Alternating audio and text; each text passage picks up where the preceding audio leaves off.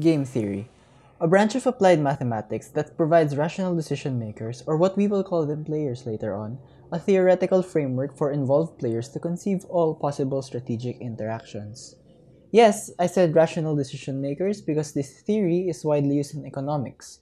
Economists are basically master strategists when it comes to their field, using game theory to get the better payoff for their party and leave the other party with the lower payoff. Now, there are two types of classifications under game theory, namely non-cooperative games and cooperative games. Games don't necessarily mean the apps we play on our phones or laptops. In this case, we are looking at situations that can be seen as games. Because we are given choices and we, as the player, can see and control moves that can greatly affect the payoff tables. Look at this picture. This man is given the choice to either go left or go right. What happens if he goes left? What happens if he goes right? It depends on the situation and to which the player thinks is the best situation. Non-cooperative games, as talked about in class, deals with how players compete against each other to gain the upper hand or the better payoff. Let's go back to economists. Because these peoples are the ones who control the game in terms of the market. Say for example, there's a competition between Netflix and Hulu. The market structure of these two is considered as an oligopoly, having very few competitors due to the fact that both are streaming websites, hence having Netflix control almost all of the entire market. For example, Netflix recently gains the upper hand amongst all the other competitors by creating their own movies called Netflix Originals. Hulu, on the other hand, cannot stream their movies because of copyright, leading to the worst possible loss in the payoff table we can classify the moves of Netflix as a strategic independency, which is something that non-cooperative games have been characterized by. Cooperative games are different from non-cooperative games because as the name suggests, the players will cooperate and form coalitions with each other to gain the best possible payoff in a certain situation, with the question being whether a collection of players can find a binding allocation of the payoffs available in the formed coalition to allow them all to gain something from forming the coalition. Let's use the market of water distribution. We know that Maynilad and Manila Water are the two main water providers in Metro Manila. These two monopolistic businesses share close to an equal amount of households and provide them with their services. Theoretically, if one of them decides to form a coalition with the other, the kind of payoff they would generate gives great benefit to both their profit pool and in general, it would somewhat make their services to the Metro Manila households better and more efficient. Though it's just theoretical that two monopolistic companies will cooperate with each other. So before going deeper into the cooperative game theory, let me just say that I will not go too deep into the formulas. I will just describe the general overview of the cooperative game. The picture in the screen is me about 5 hours ago trying to understand the mathematics of this topic. Okay, moving on.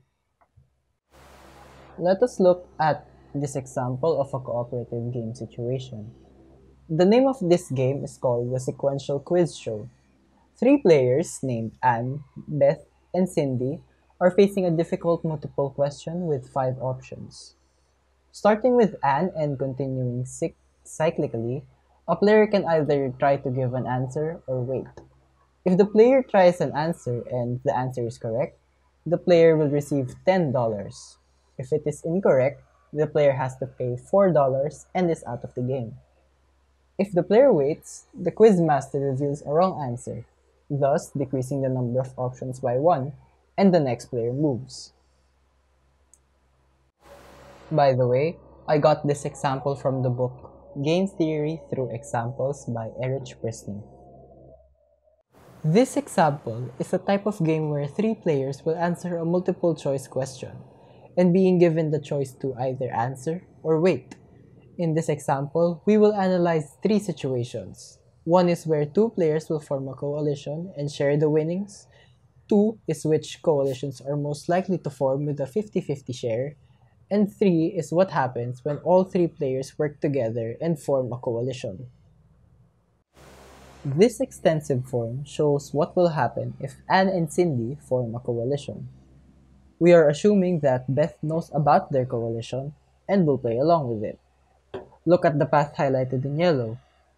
That is the path of the Anne and Cindy coalition, which we will be giving focus on.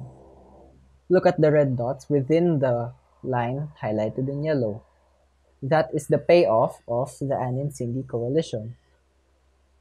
Look at the numbers in blue. That is Beth's expected payoff if Anne and Cindy form a coalition. So, she wouldn't mind if they form a coalition because either she gains 0 or 10 or she loses 4, which is not much of a big deal to Beth. The second situation we will talk about is which coalition is most likely to form provided that the players have to share a win-or-loss evenly. Provided here is a table of which coalition is most likely to form. The numbers presented in the table are the payoffs of each two-player coalition formed with each other. Look at let's look at Anne. If there is no team or no coalition formed with any of the three, Anne gets a payoff of 2. If Anne and Cindy form a coalition, Anne gets a payoff of 1.5. If Anne and Beth form a coalition, Anne gets a payoff of 3.33. If Beth and Cindy form a coalition, Anne will get a payoff of 3. So if the money is split 50-50, Anne will not agree to an Anne and Cindy coalition, and Beth will not agree to a Beth and Cindy coalition. Thus, the only possible coalition here is Anne and Beth, although Beth wouldn't care whether it formed or not. Let us go into the third situation. You might have been asking yourself a while ago, but wouldn't it make sense for all three players to form a coalition with each other? Well, we need to find out the Shapley value of the players. And let us talk about the Shapley value. We use this when all the players will form a coalition with each other. Just remember that the Shapley value of a player is equal to the average marginal contribution to the payoff, meaning if one contributes to the table more than the other, they get the higher Shapley value. Think of it as something like the higher the risk, the higher the reward. The mathematics behind the Shapley value will take too long to explain, and the numbers provided here in the example are the, uh, are the answers from the book. The purple area we see in the triangle is the area of each player's Shapley value. This was calculated based from their average marginal contribution in the game. We can see here that Beth has the highest Shapley value with 4.94 because she played higher risks than Anne and Cindy. In the game, she was the middleman in every situation. She had to either wait or lose in order to, to get the correct answer thus leading to a high payoff value. It seems like Cindy will not agree to a grand coalition because she gets the lowest payoff. However, that is for them to decide if they will go on with it or not. Since the three-man coalition is an option for them, and now that they have seen all other coalitions, it is up to them to decide how to get the best payoff for each of them. In this video, we have talked about game theory being the study of cooperation between rational decision makers. We also talked about the two classifications of game theory, namely non-cooperative and cooperative games. In this video, in this video, we have talked about game theory being the study of cooperation between rational decision makers. We also talked about the two classifications of game theory, namely non-cooperative and cooperative games we focused more on cooperative games. We also discussed the extensive form of a sequential game show with three different scenarios. Fixed coalitions between Anne and Cindy, coalitions that are most likely to form, provided the players share win or loss evenly, and the grand coalition that all three players will cooperate with each other. In the latter part, the Shapley value was discussed, however in layman's terms because the mathematics of the Shapley value is too complicated. Game theory can be used as an analytical tool to help us understand the phenomena when decision makers make strategies. Game theory has been successfully to, applied to a lot of disciplines, like economics in our example. Game theory can be used to sharpen and refine our intuitions to have rational reconstructions of different ideas, norms, and values among players.